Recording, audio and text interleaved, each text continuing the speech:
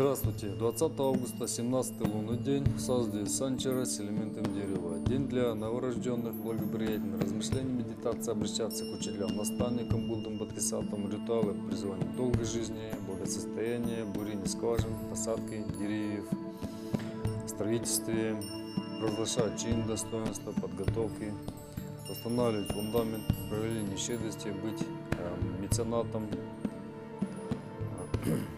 для выезда. Ребенок, родившийся в этот день, будет многоречивым, материально зависимым, с талантом к прикладным искусствам.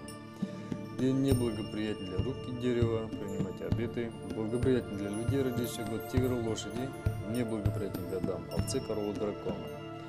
Ілгін з конструкційним будуванням хорал Банзаракша для дітей.